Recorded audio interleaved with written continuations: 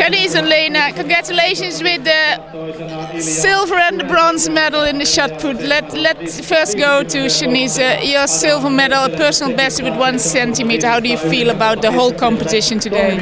The competition was a lot of fun because uh, all three German girls were in the final, so we uh, motivated ourselves, and so we had a lot of fun. And with the, with the result, I'm very happy. Silver medal, new personal best. So yeah, nice competition. Yeah, the, the 1729. The, looking at the other throws, was it was it the kind of like 16s and and like how do you see look also at the other throws? Um, yeah, I know I can do more. Uh, 1729 is very good, but the other throws weren't that good.